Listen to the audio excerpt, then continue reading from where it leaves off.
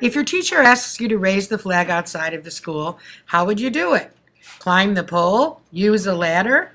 Both of those methods are difficult and dangerous. The flagpole offers a safer option, a pulley. A pulley is a grooved wheel with a rope or a chain that runs around a groove. Pulleys can be either fixed or movable.